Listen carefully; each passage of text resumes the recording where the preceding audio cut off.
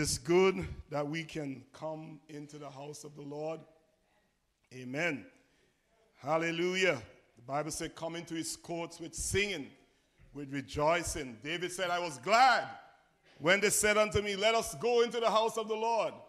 I don't know, you guys excited to come into the house of the Lord? Amen. You know, when you, amen, when you get up on Sunday morning, you excited to come into the house of the Lord? Praise the Lord. We should be excited. To come into the house of the Lord. Come into the house of the Lord should not be a, a boring thing. You know, we must be excited. You know, you have high expectation when we come, when we meet with the Lord. You see, coming in God's house is a time to fellowship with our brothers and our sisters, and it's a time to meet with the Lord in a corporate way. We meeting with the Lord. The Lord is in our midst. Praise God. Amen. Hallelujah. Praise the name of the Lord. In the presence of the Lord, there is fullness of joy, and at his right hand, there are pledges forevermore. We give God thanks. Praise the Lord. Let us remember those who are not here today. I don't know if it's just because of that little um, chilliness in the air. the folks decide to stay home. is, is this the coldest day in the year? Could you imagine that? Amen. Welcome to Canada, folks who stay home. When you see them, tell them, Welcome to Canada. this is how Canada is. Amen. Praise the Lord. Hallelujah. We give the Lord thanks. We are happy um, that we can come again and open up the Word of God. You know, we have a good thing going here in Straight Gate Ministries. We may not be a big church, but we study the Word of God. The Word of God is very important to us here in this ministry. And, you know, the Bible tells us, you know, that Job, he regard the word of God more necessary than his daily meat, his daily food. And when we exalt God's word in our life, when we put the word of God first place in our life, the word of God is our sword, it's our shield, it is our security, it's the place where we run for shelter and encouragement. And we must really esteem God's word. Praise the Lord. Today we will pick up from Second Corinthians chapter 10. And uh, today we will try to finish up this chapter by the grace of God. We will start from verse 7 and try to take it right over to verse 18. Praise the Lord. See what the Lord will say to us as we open up the Holy Scriptures today. Father, we thank you for allowing us to be here in your house. Thank you, Lord, for the congregation of your people. Thank you, Lord, for the testimony of your people. You place a song within our hearts, Lord, in spite of the situation that we might be facing. Thank you, Lord, because you are a healer. You are the healing balm in Gilead. Praise the name of the Lord. You are the healing oil in our life. Hallelujah. Thank you for the healing oil. Spiritual life, oh God, come afresh upon us your divine anointing, the burden removing, yoke destroying power of God will rest upon us even as we open up the Holy Scriptures. Pray for wisdom, knowledge, and understanding, a hunger and a thirst within the hearts of your people, Lord. Heal our hearts, our soul, our mind, our spirit. Have your way, we pray, Father, in Jesus' precious, wonderful name. Praise the Lord. We pick up from verse 7 in Second Corinthians chapter 10. Do you look on things after the outward appearance? And that's a question. If any man trusts to himself that he is Christ, let him of himself think this again, that as he is Christ, even so are we Christ. So that's a very important question. Are we looking on things after the outward appearance? And uh, I don't know if you know it, but we are living in two worlds. We are living in the natural world and we are living in the spiritual world and you know things that are spiritual you can't take the, the physical eyes to see the things that are spiritual. And it takes discernment. And god provides discernment for us as children of god that we can discern things. And as i was saying last week you know as a child of god we ought not to wait until something happened in the physical realm before we can know what is going on God give us spiritual insight. And uh, when we pray and we read the Word of God, our spiritual senses develop. It's just like a, a baby. You know, I look at my granddaughter, Adia, you know, she is so smart and, you know, she's saying a lot of things, doing a lot of things. Sometimes she will just, you know, for instance, uh, I think it was last week she was home and we was going up the stairs, so I'm counting. I count from one to nine and I stop. and I didn't expect that she know what comes after nine. And she's able to say 10, you know? And uh, uh, her spiritual, her physical senses is developing. And it is the same thing. God wants our spiritual senses to develop. And the way we um, train our, our spiritual senses, just like our, a child have to train their physical senses by reading books and uh, Eh, all those different things, educational stuff that they will be involved in. We have to be involved in things that will develop our spiritual senses. And it takes the Word of God, it takes prayer, you know, to develop our spiritual senses. We talking to God, we're listening to Him through His words. Our spiritual senses will be developed. So Paul, he, he asks the question, do you look on things after the outward appearance? We have to look on things, you know, spiritually. We look at it physically too, and we look at it spiritually. And uh, there's a lot of things that you can't see with the natural eyes, but with the spiritual eyes, you can see it. And he said, If any man trust to himself that he is Christ, let him of himself think this again, that as he is Christ, even so are we. Now, what is happening here is that the false apostles and the false teachers in the Corinthians church, they were disrespecting the apostle Paul. And what they are saying is that the apostle Paul, he was not a genuine apostle. He was not a, a, a, a, truly genuine apostle. And they were saying that they had a closer connection with God than the apostle Paul himself. And uh, they are saying that they have a special connection with God. And they were even claiming that they have special revelation, they have special knowledge. But you know, if anybody should have any special connection with God, it was supposed to be the Apostle Paul because the Apostle Paul met with the Lord Jesus Christ. You remember when he was on the way to Damascus in Acts chapter 9, the Lord Jesus himself, God called to Paul from heaven. He said, Saul, his name was Saul. He said, Saul, Saul, why persecutest thou me? And when he heard that voice, he knew that that wasn't uh, an ordinary earthly voice. He said, Who art thou, Lord? And Jesus said, I am Jesus whom thou persecutest. It is hard for you to kick against the pricks.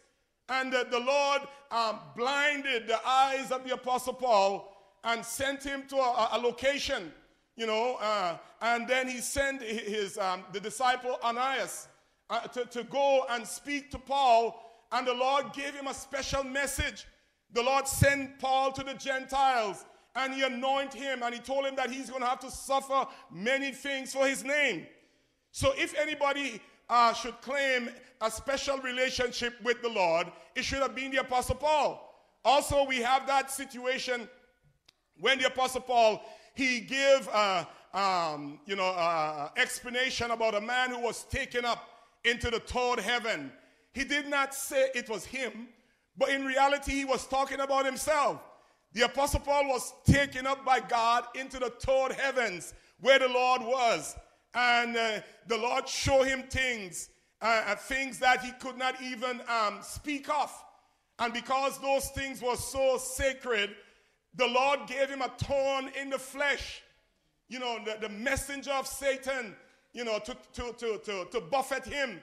So this man, Paul, he had a, a, close encounter with the Lord. His relationship was special with the Lord, but he wasn't boasting about it.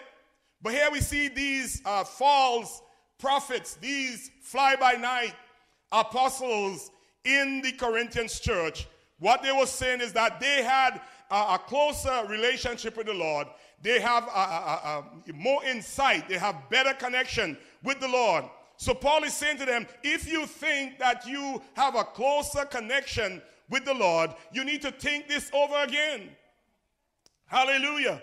If any man trusts to himself that he is Christ, let him of himself think this again, that as he is Christ, even so are we. Brethren, all of us belongs to Christ. you, you are not owned by Pastor Duncan. I know some pastors act as if they own their, their members, but nobody own you. Um, your, your pastor don't own you. We all belongs to the Lord Jesus Christ. And uh, none of us have any special relationship with God in the sense that we can look down on another member. You can't uh, I, as a pastor, I can't look down on you guys and say, well, you know, I have a special relationship with God. And every time I call, God is going to hear me. And, you know, if I don't pray for a situation, the situation will not be solved. This is not, not how it operates.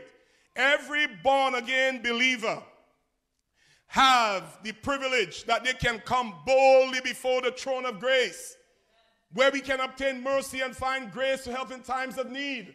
Hallelujah. So if you're sick, you don't need to get special person to pray for you. Any born again person could lay hands on somebody that is sick and pray by faith, and God is going to heal. You know, as I was saying last week, we don't have to have a special group of people who have to open this, the church in prayer. You know, we, we gather for our church service. We don't have to have a special individual to, to lead in prayer. I remember when I used to be at Light and Light Ministries, they used to have me as a special person to open up in prayer. And I said, listen, that is wrong. It is wrong. You're not supposed to have a special individual to open the church in prayer. And some people think, well, if this person don't uh, pray before the service, the service is not going to be spiritual. It's going to be dry. Say, oh man, I, I, like this individual to open up in prayer. When you open up in prayer, man, the spirit does move.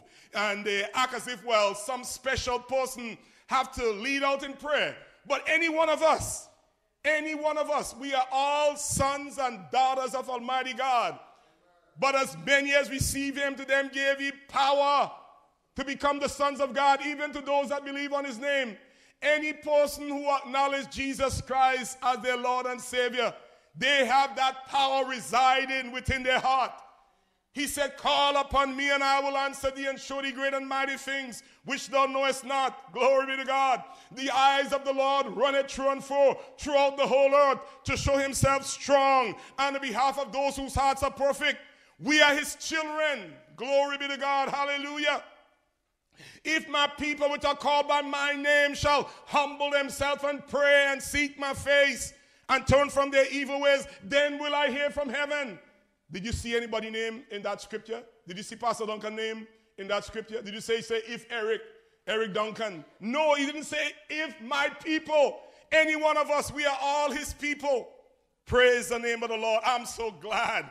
Glory be to God that God don't have any special um, beloved son or special beloved daughter. You know, we as human beings, we have our favorite kid.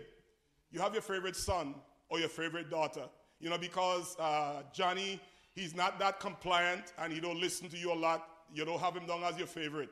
But the one who listen to you and when you talk to him, you know, he move quick. You know, you put him at the top. But God don't operate like that. Every one of us are sons and daughters of Almighty God. Hallelujah. Praise the Lord. So we all belongs to Christ, according to what the Apostle Paul is saying. For, for though I should boast somewhat more of our authority, which the Lord had given us for edification and not for your destruction, I should not be ashamed. So Paul is saying here that because of the situation in the Corinthians church, the uh, false apostles, they were boasting and they were saying, you know, that they have special connection with the Lord and uh, they have special inside knowledge and revelation from the Lord. So they forced the hand of the Apostle Paul. This Paul is saying, you, you forced me here to boast a little bit, somewhat. He said, because of what they were saying, I'm going to take the liberty and I'm going to boast somewhat, hallelujah, of the authority which the Lord had given us for edification. Those men in the Corinthians church, they were not genuine. They were not genuine bona fide apostles because God did not give them authority. But the Apostle Paul, he was authorized by the Lord Jesus Christ. The Lord Jesus ordained the Apostle Paul and sent him to preach to the Gentiles. So if anybody should boast, it should be him because he was authorized from heaven. Praise the name of the Lord. It was the Lord who gave him that authority. And the authority that the Lord gave him, It was the authority to build up. The word they edify, it means to build up. You know, the Apostle Paul, he went to Corinth and he established that church and he built up the Corinthians church, went on his journey. From time to time, he will send uh, ministers like Titus and Timothy, you know, Apollos and all of these guys will, you know, go there by turns and they will build up the church. And here we see these false prophets and apostles in the Corinthians church. They want to break down the church, they want to demolish the church, they want to destroy the church. You know, look for instance, we are here in this ministry for about uh, about eight years or so, and it takes us that period of time to build up this church by teaching and preaching you know, the word of God. You know, people are edified and the church is being built up. But do you know, it took us eight years to reach where we are, where we are at now. You know, in a little space of time, if we give the enemy a foothold, if we give the, the devil just one little hole in this ministry, in no time at all, what we build over that eight year period will be destroyed. So, what are we going to do? We're going to keep the enemy out. We're going to put up defense. We're going to use the shield of faith, the helmet of salvation, the sword of the Spirit, which is the word of God. As we studied last week, the weapons of our warfare, they are not carnal, but they are mighty through God for the pulling down of strongholds. Glory be to God. We can't allow the enemy to have any stronghold in this church. Because we allow the enemy to have a stronghold in this church, he will demolish the church. Satan doesn't come to edify, he's not there to build up. Jesus said, Upon this rock I will build my church, and the gates of hell shall not prevail against it. Brethren, we have to take a stand. You know, I was looking at this scripture, and my mind focused on my marriage. You know, me and my wife, we are together for 37 years. And I'm not going anywhere because I love the cooking. I love how she respect me. Praise God. My wife, I like the way how she respect me. My wife, it doesn't matter what's going on. She respect me. She don't disrespect me in no way. And I don't disrespect her uh, either. My wife highly respect me. She highly value my opinion. If my wife gonna do something, if she don't hear from me, she not gonna do it. Even though she know, um, well, this is right. She want to hear what I have to say. And sometimes, you know, I kind of, why you don't go ahead and do it? But she wants to hear from me. And she respect me. And, uh, you know, I, I love her for that. And I say I love the cooking too. I, I don't think there's any other woman out there who could cook as well as her, make it tasty. You know, sometimes, you know, when she cook, uh, any little fault, you know, is in the cooking, I'll point it out. I say, I don't like what happened to that because it's not a custom. Uh, for instance, she made some bakes uh, yesterday, and uh, I said they don't taste the way they're supposed to taste, you know, and they taste okay, but it, like something is missing. So what I'm saying, we are together for 37 years, and it takes us 37 years to build up our family. And do you know that if we give the devil a little foothold in our family, in our home, what we take 37 years to build will be destroyed in no time at all. So, what, what are we going to do? Are we going to just sit back and allow the enemy to come in to destroy it? No, I am going to get all of the spiritual security that I need to secure my family. You know, all of the, the whatever, uh, alarm, you know, you need to put on around your marriage, around your home. You have to secure yourself spiritually. Because if you're not secure, the enemy is going to destroy. And this is what Paul is saying. The, the, the false apostles in the Corinthians church, their aim was to destroy the church. They wasn't there to build up. And Paul is saying that his authority that he received from the Lord is to edify. Hallelujah. We have to be on the alert for people who are on the prowl and their one and only aim is to dis- destroy the church. You know, people who like division, people who like to sow seeds of discord, people who want to carry on a grudge in the church, who want to hold animosity in the church. These things is a stronghold. And brethren, when we see these things going on, as soon as we, the Bible said we ought not to give no place to the devil. Don't give no place to the devil. And when we see these things happening, it's a place we are giving to the devil.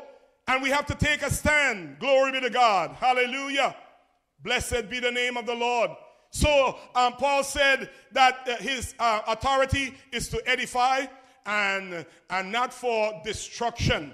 Some, you know, ministers use their authority to destroy, and they use their, their authority, you know, to split churches and to uh, get people to side, take side, and separate. But Paul is saying here, his authority is to build. We need to build people up, surround people, build them up. Hallelujah. It is so easy to demolish a building. You ever see them demolish these big high rise buildings? You know, maybe for, um, look at the World Trade Center uh, before it was destroyed. That building took them years to build. and in no time at all, that building just collapsed. You know, they will, uh, these demolition companies, they will go into um, a big building, a building that is uh, condemned to be destroyed, and they will set all the different charges in the basement and different parts of the building. And when the time comes for them to, to press that button in one strike, that building will just pan- pancake. It just become like a, a pancake in no time. It's destroyed. It doesn't take a long time to destroy, but it take time to build. It is harder to build than to destroy. And it seems as though some people they, they take pleasure in destroying. Hallelujah. Glory be to God. Blessed be the name of the Lord. Paul said, I should not be ashamed. What they were saying is that Paul should be ashamed. And Paul had stuff in his life that he covering up. And he was abusing the people of God. Uh, he was using them to get money and stuff like that. And there uh, were hidden things in his life that he should be ashamed. So Paul's saying that he is not ashamed. He don't have anything that he's ashamed of. And that is how we have to operate as children of God. We have to operate in the open. We don't have nothing to be ashamed of. Glory be to God. We don't have nothing in the closet. If there's anything in the closet, you need to bring it out. Jesus said, whatever uh, things he said to us, we must uh, broadcast it from the housetop. We don't have any secret. Praise the Lord. In verse 9, that I may not seem as if I was, I, I would terrify you by letters. So what they were saying is that the Apostle Paul, he was terrifying them when he sent his letters to them because Paul established the Corinthians church and then he went away, and from time to time, he will send Titus and Timothy and other brethren to visit the church. And uh, he will send them letters so that they can um, hear from him. And whatever things may not be in line, he will instruct them what to do. So here they're saying, Paul, you're terrifying us, you're intimidating us. And uh, you know what was happening here when Paul hear about something that is going on in the church, he have to correct them. And when you, as a minister, have to take the, the position to correct your members, you know, sometimes it is painful, but it is not terrorizing. You know, sometimes you have to, um, for instance, if you go to the doctor and you have an ailment and uh, the medication that the doctor give you, if it's not working, when you go back to that doctor, he might have to give you something stronger. But is the doctor terrifying you? No, he's not terrifying you. He have to give you a stronger med- medicine. And sometimes correction could be strong medicine. And sometimes when people get correction, they feel as if, well, the minister might be terrorizing them. And this is how the Corinthians church felt. They felt that the Apostle Paul was terrorizing them, he was intimidating them. They had a brother in the Corinthians church who took away his father's wife. And the Apostle Paul sent a letter to them and said, You have to um, discipline that brother you have to put that brother out of the church so that his spirit um, will be saved, his body, his flesh will be destroyed, and his spirit be saved at the coming of our Lord and Savior Jesus Christ. And it is all of these things that was going on in the church that the church at Corinth they were taking issue with, saying that Paul was terrorizing them. He was terrorizing them by his letters. Now listen what he said in verse 10. For his letters say they are weighty and powerful. Now they acknowledge that the Apostle Paul, his letter was weighty and they were powerful. Even now, when we read the writings of the Apostle Paul, it is believed that the Apostle Paul have um, 13 letters in uh, the New Testament. There is what, 27 books in the New Testament, and I think 13 of those books is um, attributed to the Apostle Paul. So the Apostle Paul, he, he writes a lot and he make a, a great contribution to um, the writing of the New Testament. And here they are saying that his words, his letters, he said, um, for his letters say they are weighty and powerful. And it is true. Even when we read the writings of the Apostle Paul, you can feel the anointing, you can feel the power of God, you know, through the words that we are reading. And here they are saying that your words is powerful and weighty. And what they're saying, uh, Paul, when you write us in your letter, your words are so powerful. You know, you're, you're heavy handed and you are abusive, but his bodily presence is weak. What they're saying, Paul, when he was way over on the other side, when you write us from over in Macedonia and you send your letter over in Corinth, your words are so powerful. But when we see you in person, Paul, you are weakling. you, you are weak, weakling. You're a coward. And this is what they're saying here. They're saying, Paul, you're a wimp and you, you are not a strong person. Praise the name of the Lord. Say they, the, the letters are weighty and powerful, but his bodily presence is weak. Also, there's a possibility that the Apostle Paul, he wasn't a strong person. He wasn't big and tall and, you know, strong, you know, like some people. And uh, when you read some of the um, historical writings that describe the Apostle Paul, they said that he was short, he was bow-legged, and he was um, bald-headed, and also his eyelashes. His eyelashes, like it go right across. You know, some people, it seems as though the eyelash don't have any break. Bushy eyelashes and uh, bald-headed, and uh, his nose was like he have a hook kind of nose. So it seems as though the Apostle Paul, he wasn't a pretty boy. He wasn't one of those kind of Hollywood kind of preachers. And uh, his looks didn't really turn them on.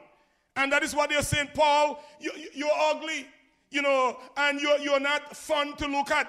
According to how Ella Lewis does explain it, he's not that fortunate in his look. And uh, the Apostle Paul wasn't one of those Hollywood movie star, according to what they're saying here.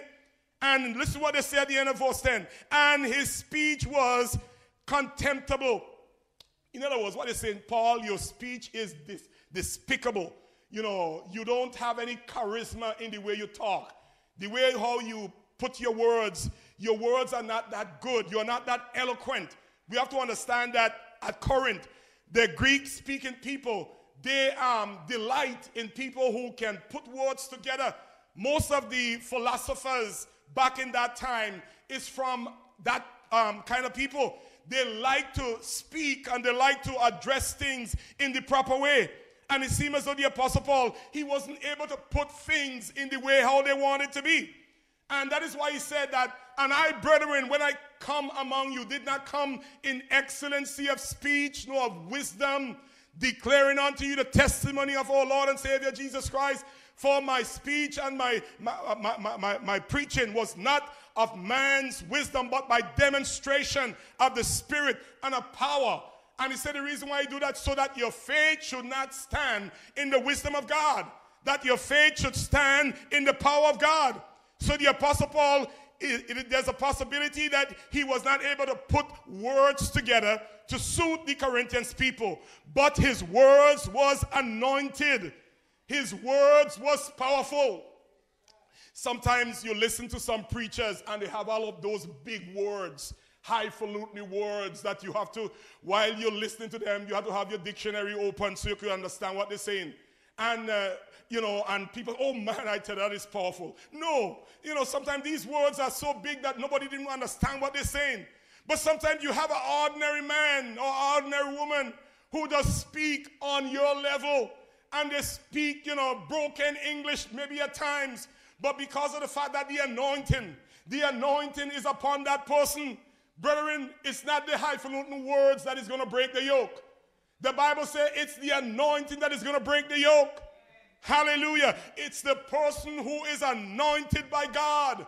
The Bible tells us in Isaiah chapter 61 the Spirit of the Lord God is upon me because He have anointed me to preach deliverance to the captive.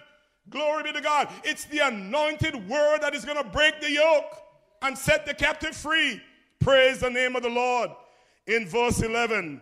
Let such an one think this, that such as we are in words by letter, when we are absent, such will we be also indeed when we are present. What they say, Paul, you're a hypocrite. You have a big mouth. You have, you have a big mouth. You're a bully, and you have a big mouth when you're far away. But when you stand before us, you are chicken, you're a coward. And Paul is affirming them. He's saying to them, listen, when we come, he said, uh, let such an one think this, that such as we are in words by letter, when we are absent, such will we be also indeed when we are present. Paul is saying that the same uh, way he expressed himself in his letters, when he come in person, he is going to be the same way. Glory be to God. He is going to be a man of his word. He's a man of integrity. And he will stand on the words that he sent to them by letter. In verse 12, for we dare not make ourselves of the number or compare ourselves with some that commend themselves, but they measuring themselves by themselves and comparing themselves among themselves are not wise. So what the false teachers was doing, they get up all of these different resume and they get people to give them all kinds of different commendation, let, uh, reference letter to say you know this about them and all these kind of things about them, and they start comparing themselves uh, amongst themselves. You know who can speak in tongues and who can prophesy and uh, who is able to explain um, whatever um, subject that they might be dealing with. They are comparing themselves. They're saying, We are better. We can do these things better than you. And they are comparing themselves uh, with different ability. They have their own standard that they set. And they are complaining, uh, comparing themselves by themselves. But what the Apostle Paul said, but they are measuring themselves by themselves and comparing themselves among themselves are not wise. And we have to take some instruction from that. We are not to be comparing ourselves among ourselves and measuring ourselves among ourselves. In other words, we say, you know, I, I, when I lead the worship, you know, my worship is so anointed. And, uh, you know, when brother so and so lead, his worship is not that anointed, you know. Man, when I lead in the people, man, I tell you, they just spin. You don't see all them people that spin around. When I lead in, and the anointing just move upon them when I lead in. And we start to make all of these different comparison. The Bible says when you compare yourself by yourself and amongst other people, it's not wise. So who are we supposed to compare ourselves with? We have to compare ourselves with the Lord Jesus Christ. The Lord Jesus Christ is the measuring rod. And you know what? When we compare ourselves with the Lord Jesus Christ, every time we compare ourselves with Him, we are going to come up short all the time. Because none of us can be the way how He is. Every time we measure ourselves with the Lord Jesus Christ, we are going to see all of our shortcomings. But when you measure yourself with Pastor Duncan, or Pastor Duncan measure himself with the other pastor on the other side, or you measure yourself with the uh, worship leader, you are going to think that you are above that person. But when we measure ourselves with the Lord Jesus Christ, we always know that we have to find our place. Glory be to God. Hallelujah. We will have to take the place of submission when we humble ourselves under the mighty hands of God, the Bible said, we shall be exalted. For he that exalt himself shall be abased, but he that humble himself shall be exalted. Praise the name of the Lord. Hallelujah. In verse 12, for we did, um, did I read that one? Praise the Lord. Glory to God. Thank you. Uh, in verse 13, but we will not boast of things without our measure but according to the measure of the rule which God had distributed to us, a measure to reach even unto you. So what they were saying is that Paul, you are bragging about things that you know is not in your league. In other words, you are running out of your lane. You are in an area where you're not supposed to be. And Paul is saying here that God gave him the authority to even spread the gospel and to reach even to uh, uh, Corinth, to uh, reach out to the Corinthians and praise the name of the Lord. He said in verse 14, For we stretch not ourselves beyond our measure. What they were saying here, Paul, you're not supposed to be in this area preaching. You know, you cross the line. You should leave preaching in this area to us. You know, you're out of your area. You cross the bound. And they're telling the Apostle Paul, you, you're not supposed to be in this area preaching. All of the preaching in this area should belongs to us. But the Apostle Paul was told by the Lord Jesus Christ to go and spread the gospel to the Gentile world. Anywhere Gentile people was, it was the place where the Apostle Paul was supposed to preach. So he was not out of his jurisdiction. Praise the Lord. Hallelujah. Glory to God. In verse 14, for we stretch not ourselves beyond our measure, as though we reach not unto you. For we preach the gospel, for we are, are come as far as to you also in preaching the gospel of Christ. So Paul is saying that we preach the gospel all throughout those areas, and the Lord give us the authority to even reach to you. And it is because of the preaching that we bring here in Corinth why this church is established. But even though the Apostle Paul, he was the father of the Corinthians church, the Corinthians people were trying to cut him down. And it's like somebody sitting on a tree. You up on a tree and you sit down on a branch. And then you sit on a branch and you take a saw. And the same branch that you sit on, you start to cut off the branch. What going to happen? You're going to fall to the ground and they were trying to cut down the, the very person who established them. And this is what we do from time to time. Sometimes you find that there's a, you have a minister who is on down on your level, and you know he's trying his best to establish things, and he's moving in a loving way with everybody else, everybody. And you know there will be persons who will be trying to cut him down. You know they're trying to cut him down, and then you go in churches where they, you have those pastors who are bully and they are abusive and they talk down to the members and everybody's so under subjection. By the time he says something, people are ready to move, you know, and uh, he will treat them in any kind of way. He will insult them, and these people still there, they're sucking it up under him and they're not complaining.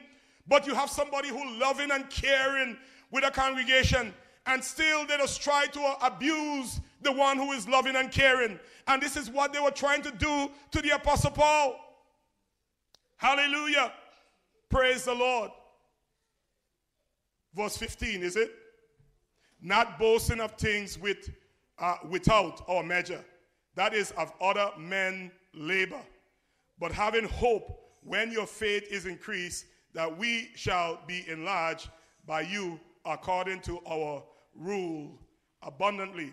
So, what Paul is saying here, he's not boasting about things that he don't accomplish. It's like some people, they will boast about things that never happened. They will talk about, oh boy, if you see how much people get saved. You know, we went to this crusade, and you know, sometimes you listen to these guys who go to Africa and they go to India, and you hear they come back and they say, Oh, we was in India for a month, and you know, 50,000 people got saved.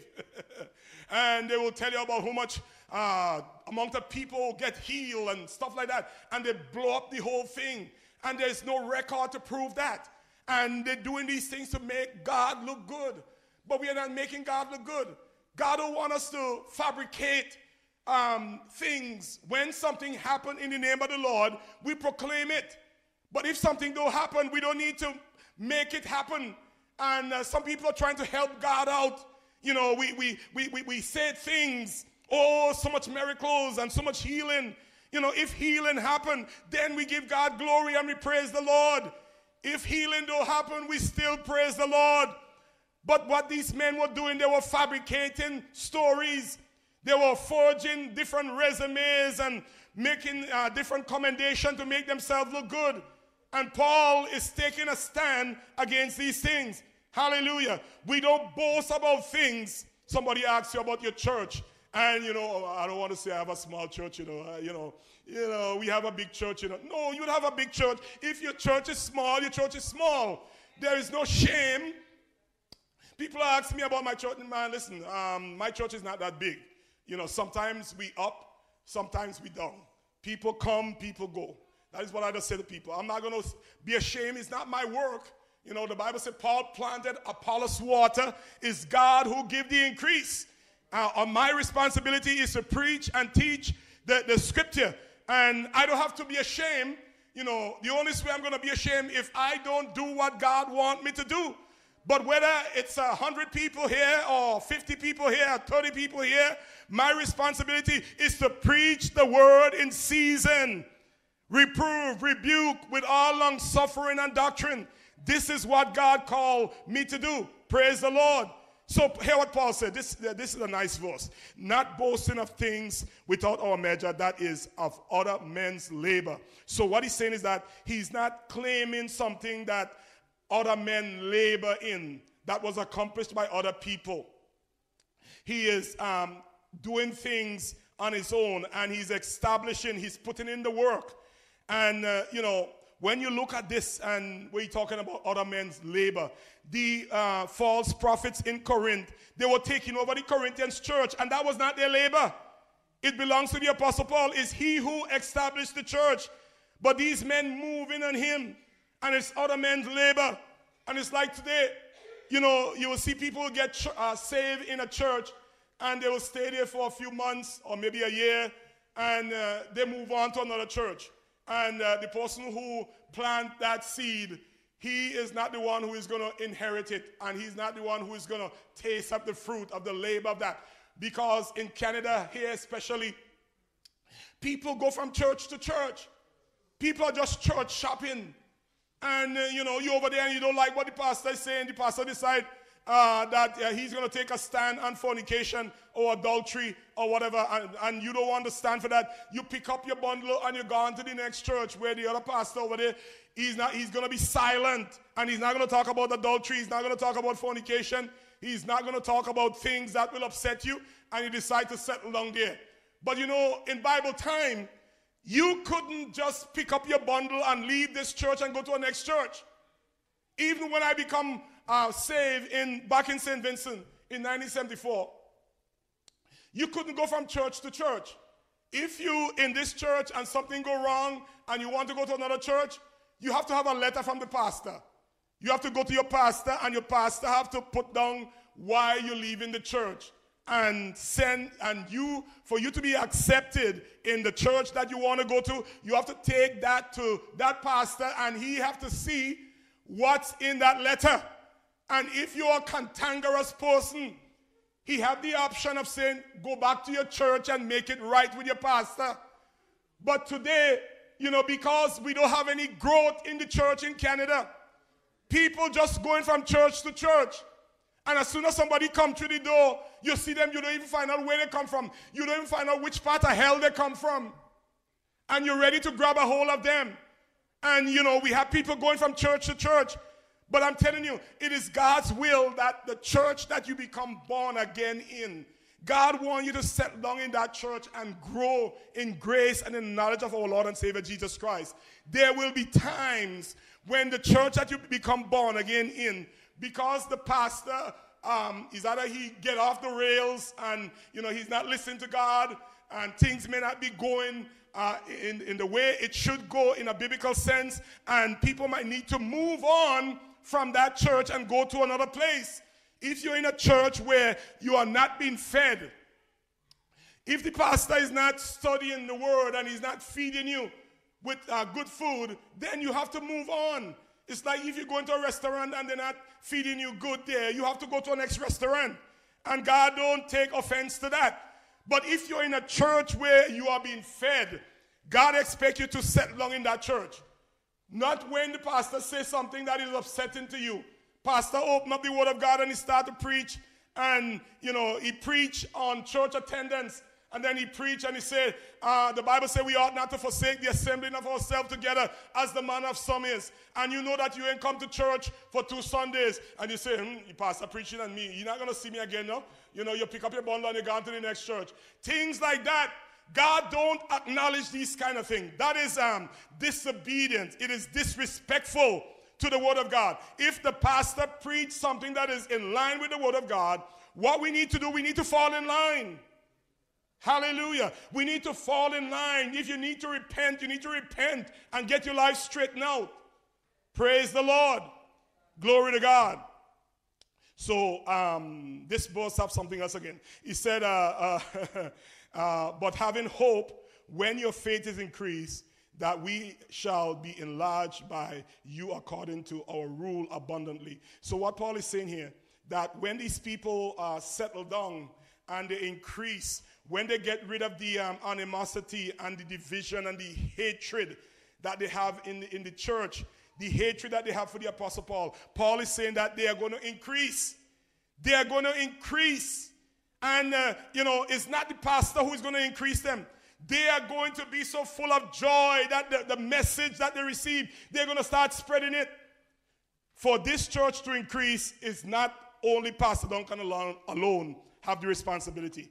All of us have the responsibility. I have to compliment uh, Brother Lewis and his wife for the great job that they are doing, spreading the word and bringing in people from time to time. But it's not just Brother Lewis' uh, job to do that, it is all of us' responsibility. All of us need to spread the word. We need to talk about what we have going here. If we have something good going here, if you are enjoying the Word of God when we open up the Scripture, you need to share that with somebody and invite them to come so that they can enjoy what you are getting. Praise the Lord. Hallelujah. In verse 16, to preach the gospel in the region beyond you and not to boast in other man's line of things made ready to our hands. So Paul's saying that he intends to go further. And he, he, he don't want to barge in and move in on other people's labor. He want to go into other areas where nobody spread the gospel. And he want to take the gospel further and further. But what they were doing, they were hindering the Apostle Paul because of this hatred and animosity that they have against the Apostle Paul. It was hindering the spread of the gospel. Brethren, hatred, animosity, bitterness is a dangerous thing. If you have hatred and animosity and bitterness in a church or in a marriage, in a family, it's going to destroy you. It's going to make you shrivel up. It's going to make you become weak. These things, it's a killer to spiritual strength. It will sap your spiritual energy. And this was happening here. It sapped the spiritual energy of the church in Corinth. The church in Corinth had people who were prophesying, speaking in tongues, interpretation, and all of these word of knowledge. All of these gifts were manifesting in the church at Corinth. But, you know, because of the animosity and the hatred and the bitterness that they have, the Holy Spirit can't move in the way that it ought to move. And it's the same thing that is taking place uh, amongst us today. You know, in our churches, in our homes, because of the fact that we have this hatred and animosity and strife that is going on, you know, uh, God can't move in the way that He ought to move. Praise the name of the Lord. And we are not gaining anything. We are losing. We are decreasing. Our strength is getting less and less. But let him that glorieth, let him glory in the Lord. So Paul is saying, if anybody's going to glory, glory in the Lord. What he's saying, don't glory in your knowledge. Don't glory in the fact that you speak in tongues. Don't glory in the fact that you have a, a house or you have a car. Don't glory in the fact that you have a government job uh, or you have money in the bank. Don't glory in the fact that you can go on vacation and other people can't go on vacation. Those are not things for us to glory in. Hallelujah. Jeremiah said, Let not the wise glory in his wisdom, or glory in his strength, or glory in uh, riches, but let him glory in the fact that he know and understand the Lord. We have to glory in the fact that we know God. The Bible talk about the people who glory in chariots, who glory in riches, whose strength is in their chariots and stuff like that. The book of Psalms talk about that. We are not to glory in material things. Brethren, the only thing that is going to last is our relationship with the Lord Jesus Christ. When we become born again and we acknowledge Christ as our Lord and Savior, this is the only thing that we can take out of this life. Praise the name of the Lord. When a person died, I was told that, you know, the suit that you see them put on, that nice tuxedo that they put on, they haven't, you don't have no pocket. and uh, they said the reason why you don't need pocket because you, you, you can't carry nothing. I have, I have a little pocket here because I'm alive. you know, I can put my wallet. But when you're dead, you can't carry nothing. Praise the name of the Lord. Somebody was talking about this guy. Uh, he said to his wife, When I die, I want to take everything that I own. So when he died, wife, you know, they're always obedient, you know. Anything we say to them, they listen and they follow it to the latter. Uh, the wife, when he died, she take all of his money and she get it in gold and then she melt it down and put it in his casket. When he reach up in heaven, uh, he take out his big piece of gold and he show it to Peter. Peter, look what I have. Peter said, what is this? This is, man, this is asphalt up in heaven, man. This is what we walk on up here. In heaven, gold don't worth nothing. It's what they make pavement with. so what, what, what, what, are you going to take? You, there's nothing we can take to impress God when we get to heaven. Hallelujah. Except having the Lord Jesus Christ in our life as our Lord and Savior. In closing, for he said, for not, so don't glory in material thing. But hear what he said, for not he, he that commended himself is approved, but whom the Lord commended. You know what that means in simple terms? It's not the person who pat himself on the back and say, oh, you know, I'm so good, you know, I'm such a lovely boy, I'm such a lovely girl, I don't really, you know, I'm not really bad, you know, I'm so good. And, you know, you're patting yourself on the back and you say how good you are and stuff like that. And the Bible is saying that the person who pat themselves on the back and commend themselves and say how good they are, how righteous they are, and, you know, whatever. The Bible said those are not the one who is going to be approved. God is not going to approve you when you pat yourself on the back. You, you have to let God approve you. Because he said it's not him who um, commended himself is approved, but whom the Lord commended. So we want God to command us. And what he's talking about there is when we get before the Lord, the Lord Jesus will say, Well done, thou good and faithful servant. Enter into the joy of the Lord. We all want to receive that approval when we go before the throne of the Lord. Hallelujah. Oh, glory be to God. The Bible said, Be not deceived. God is not mocked. For whatsoever a man soweth, that shall he also reap. He that soweth to the flesh shall of the flesh reap corruption. He that soweth to the spirit shall reap life eternal. May the Lord bless us. We'll ask the musicians to come back. Be to God. Uh, maybe put on It Is Well, It Is Well with My Soul.